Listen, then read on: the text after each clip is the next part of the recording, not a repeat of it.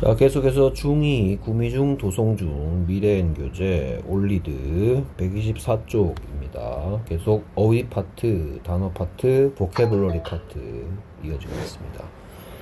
자, words 집중 탐구에서는 자, 요렇게 나뉘어서 보면 되겠네요. 왼쪽하고 오른쪽 나눠서 자, 왼쪽은 동사 플러스 전치사입니다. 동사 플러스 전치사.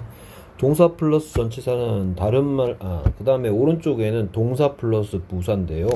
자, 지금 얘는 지금 뭐를 비교하는 거냐? 왼쪽과 오른쪽이 뭐가 비교되는 거냐? 동사 플러스 부사를 보고 다른 말로 이어 동사라고 하시거나 또는 동사구라고 선생님들이 설명하십니다. 자, 여기 보면 cheer up, give up, turn on, turn off, put on, hand in. 자, 얘들은 이어동사니까 이어동사에 뭐 다리 사이에 낀가야 되니 뭐 어쩌니 저쩌니 그 문법을 지켜줘야 되는 겁니다. 오케이. 자, 그래서 여러분들이 이게 어, 특히 뭐, 뭐 on이나 o, on인, on 같은 in 이런 애들이 전치사로서 만나기 때문에 이게 어떻게 동사 플러스 부사야 라고 말씀하실 수가 있는데 on이나 in 같은 애들도 자 부사부터 먼저 설명해야 되나? 부사는 뭐에 대한 대답? when이나 where나 how, why에 대한 대답이 부사를 여기는 여기 있는 애들 up이나 on, off나 in이나 이런 애들이 음, when, where, how, why에 대한 대답으로 지금 쓰였기 때문에 그래서 얘들은 동사 부사입니다. 그 다음에 여기에 있는 in은 똑같이 여기에 in, 여기도 in이 있고 여기도 in이 있는데 얘는 전치사의 in이고 얘는 부사의 in이란 말이에요. 여기에 in이 왜 부사냐면 이 in은 where에 대한 대답으로서 무슨 뜻을 갖고 있냐 안으로 란 뜻을 갖고 있는 거예요. 자 보통 전치사는 이렇게 뒤에 명사가 붙어서 when, where, how, why가 되는 애를 보고 전치사라고 하고 when, where, 그러니까 뒤에 명사 없이 when, where, how, why에 대한 대답이 되는 애들을 보고 부사라고 하는데 근데 좀 안타깝게 in이 전치사로도 쓰이고 부사로도 쓰이니까 한국 사람들 입장에서는 이게 왜 이어동사고 얘는 왜 이어동사가 아니지? 왜 그것을 성공하다 할 때는 hand, 아, succeed in it이지만 그것을 제출하다 할 때는 왜 hand it in 해야 되는 거지? 이렇게 헷갈릴 수가 있단 말입니다. 자, 뭐 그것을 성공하다 할 때는 succeed in it 해야 되고요. 그것을 제출하다 할 때는 hand it in 해야 됩니다. 여기 in은 전치사기 아니 전치사가 아니고 부사기 때문에 이어동사고 안만 길어봤자 한 목적어는 다리 사이에 낀가나야 돼요. 안만 길어봤자 안 하면 죄송합니다. 어, 그 보고서를 제출하다 뭐 더 리포트 같은 게 만약에 여기 이 자리에 목적으로 있다 치면 hand in hand the report in 해도 되고 hand in the report 둘다 돼요. 근데 이걸 it 했을 때는 hand it in 밖에 안 됩니다. 하지만 그것을 성공하다 할 때 뭐 succeed in it 해야 되고 또는 뭐 그 작업 그 일이라고 그 일을 성공하다 이 the work 이런 게 목적어라도 succeed in the work라고 해서 이걸 여기다가 집어넣을 수는 없어요. 전치사기 때문에 항상 무슨 명사가 되고 대명사든 그냥 일반적인 그냥 안만 길어봤자 안한 명사든 다 뒤로 와줘야 됩니다. 조금 한국 사람들 입장에서 조금 헷갈리기도 하는데 뭐 틀리지 않기 위해서는 요런 거 요런 거를 통째로 입에다가 익혀 놓으면 되겠습니다. 이게 맞는 표현이다. 핸디린 핸디린. 그것을 제출하다 핸디린. 그것들을 제출하다. 핸드데민. 이런 식으로. 그 다음에 뭐 요거 같은 경우에 그녀를 격려하다. 이런 식으로 익히면 되겠죠? cheer her up. 뭐 또는 cheer him up. 이런 식으로. 사이에 낀가 나야 된다 뭐 제임스를 격려하다 할 때는 cheer 제임스 up도 되고 cheer up 제임스도 되지만 제임스를 안만 길어봤자 했을 때는 cheer him up, cheer her up, cheer it up, cheer me up, cheer you up 이런 거밖에 안 된다. 자, 그 다음에 give up은 뭘 뭐를 외워놓으면 되겠다. 그것을 포기하다 give it up을 외워놓으면 되겠죠. give it up, give it up, give it up, 뭐 give them up 그 다음에 이제 up 하나 더 해야 될 게 동명사 목적어일 때는 아 참 그 동사 목적어 동사를 목적으로 가지고 싶을 때는 enjoy 정축이라는 거 give up doing that 이런 식으로 give up doing that 그거 하는 것을 포기하다. give up doing that. give it up. 이어 동사다. give it up. cheer him up. hand it in. 그 다음에 뭐 turn on, turn off 많이 했었죠. 뭐 그것을 켜다 끄다 할 때 turn it on, turn it off 하면 되겠죠. Turn it on, turn it off. 그 다음에 put on도 그냥 put on을 익히지 마시고 안만 길어봤자 한 가지 하나 집어넣어서 put it on, put them on 이렇게 해야 되겠다.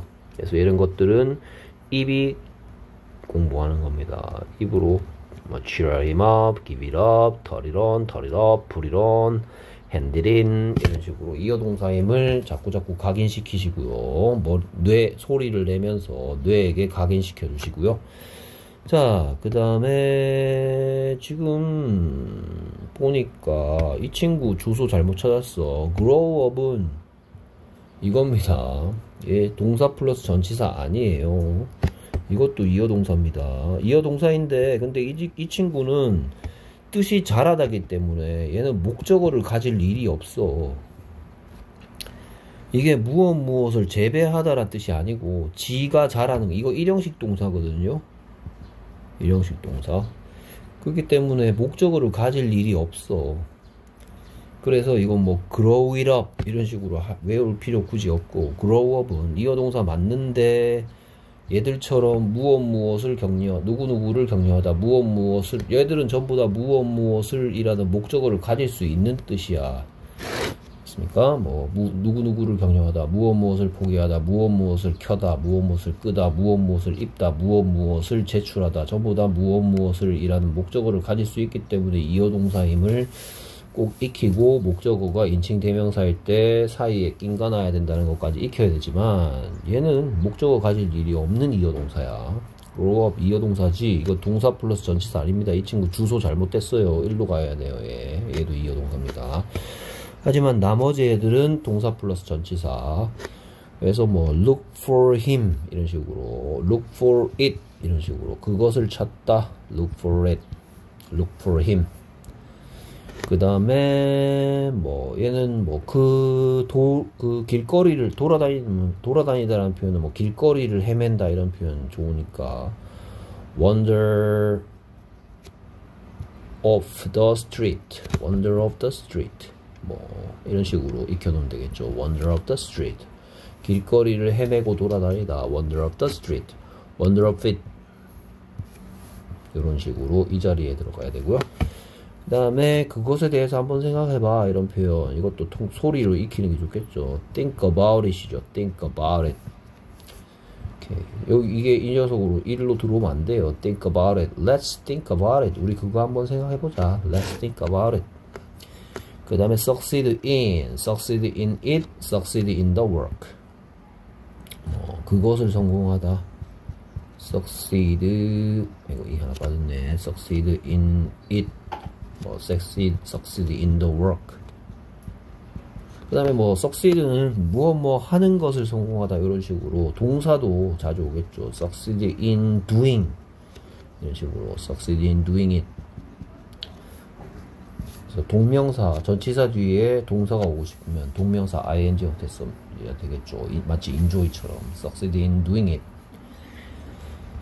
그래서 지금 그 설명 동사 플러스 전치사에서는 동사와 전치사를 분리하여 쓸 수 없다는 얘기는 목적어가 다리 사이에 낑기면 안 된다는 얘기입니다 얘들은. 하지만 동사 부사에서는 동사와 부사 사이에 목적어가 올 수 있고 그 다음에 목적어가 모인 경우에 인칭 대명사 목적어는 반드시 사이에 와야 한다는 것까지 알아야지 정확하게 아는 거죠. 이거 안만 길어봤자 하면 다리 사이에 낑가 놔야 된다 그 얘기입니다. 이어 동사 목적어는 자, 그 다음에 phrases, phrases 수거입니다. 수거 수거를 이제 예문을 통해서 이렇게 우리말을 보면서 익히는 것도 좋겠어요. 오케이. 오늘 밤에 너는 뭐 하는 것을 외식하는 것을 뭐하니 원하니 이 뜻이죠 오늘 밤에 너는 외식하는 것을 원하니 자, 요런 표현을 want to do로 하는 거는 이미 알고 있죠. want to go out, 뭐, go out for eat인가요? 외식하다. 아, eat out, 참. go out은 외출하다고요. 뭐, eat out.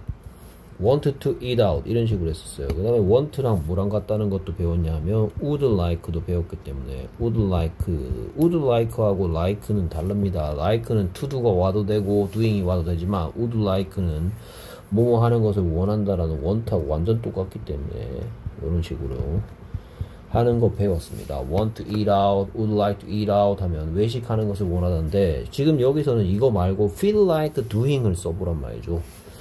그래서 do you feel like eating out 이렇게 표현하고 있죠. do you feel like eating out tonight? 그래서 요게 똑같은 표현이 do you want to eat out 하고 같단 말이죠. do you want to eat out tonight 하고 do you feel like eating out tonight 하고 똑같은데 want일 때는 to 부정사 목적어 feel like일 때는 like가 전치사니까 전치사 뒤에는 동명사 목적어 와줘야 된다는 거. 그래서 it의 형태가 여기는 eating이 맞고 여기는 eat이 맞다는 거. 이런 것을 잘 구분하셔야 된다. 그 다음에 의사는 나에게 단 거 끊으라고 말했다. 자, A에게 뭐뭐 하라, 는 거, 뭐뭐 하라, 는 것을 말하다 할 때 쓰는 건 5-3의 A인 tell A to do를 쓰면 되겠죠. tell A to do.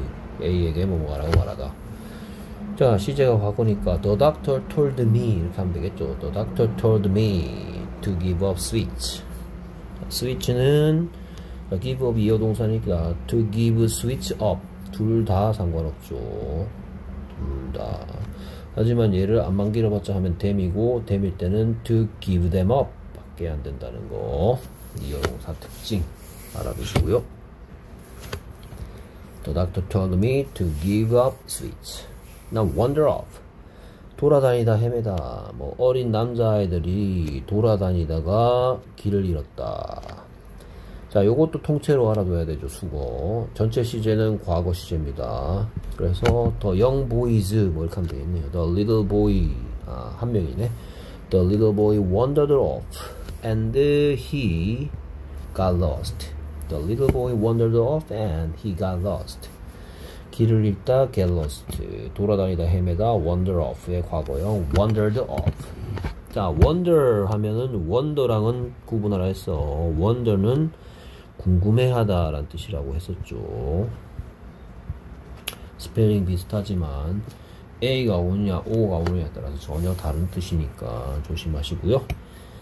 그 다음에 thank you for. 자 여기에 feel like 할 때 like도 전치사니까. 여기 thank you for 할 때 for도 전치사니까 뒤에 동사가 오고 싶을 때 동사가 오고 싶을 때 이와 같이 answering my question 하는 거 동명사 형태 와야 된다는 거. 현재 분사 아니고 지금은 동명사죠. thank you for answering my question. 저의 질문에 대답해 준 것 때문에 for가 여러 가지 뜻이 있는데 그 중에 뭐뭐 때문에 라는 뜻도 있죠 Thank you for 뭐 answering my question 안만 길어봤자 해주면 이시죠. Thank you for it. 그것 때문에 감사해요. Thank you for answering my question. 그 다음에 뭐뭇을 계속 지켜보다. 당신은 이런 말이 생겼겠죠. 당신은 제가 없는 동안 저의 개를 좀 돌봐주시겠어요. 이거 부탁 요청이죠. 요청. 요청 몇 종 세트. 요청 4종 세트 will you, would you, can you, could you 중에 하나 쓰면 되겠죠 그래서 will you keep an eye on my dog 하고 있죠 will you keep an eye on my dog will you keep an eye on my dog while I'm away 내가 없는 동안 오케이. 그래서 얘는 여섯 가지 질문 중에 when에 대한 대답이니까 내가 없을 시점이 언제일지라도 미래일지라도 I will be 하면 절대로 안 되고 현재 시제로 대신한다. While I will be away가 아니고 while I'm away. 내가 없는 동안. 내가 미래 시제에 없는 동안. 네, 좀 있다가 미래 시제에 자리를 비울 건데 좀 돌봐주시겠습니까? Keep on. 계속 지켜봐 주다. 자, pop quiz 숙제로서 풀어보시기 바라고요. 그 다음에 뭐 여러분들이 추가적으로 해야 될 거 이 대에 대해서 제가 물어보면 답할 수 있도록 해주시고요. 그 다음에 여기에 보면 이어동사 아 이어동사란다 투부정사 보이죠 to부정사 명형부 해주시기 바랍니다 이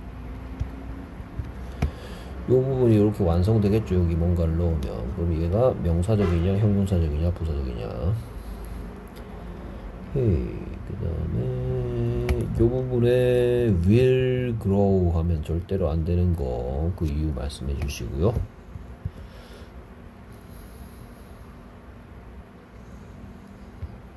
다음에 대화 파트로 넘어갈 예정입니다. 자, 월요일 수업은 여기서부터 시작하게 될 거예요. 여러분들이 반드시 클래스 카드 단어 정도는 준비가 되어 있어야 되고요.